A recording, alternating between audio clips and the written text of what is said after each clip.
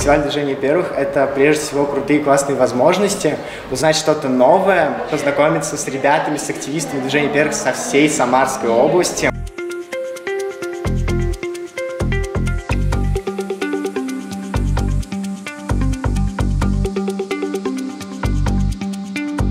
Движение первых – это такая большая платформа, которая объединяет порядка 150 тысяч человек только на территории Самарской области. По всей стране нас уже 6 миллионов человек. В Самарской области порядка тысячи учреждений открыли первичное отделение движения, реализуют и поддерживают детские инициативы, детские мечты. И я уверена, что это только начало такого большого пути.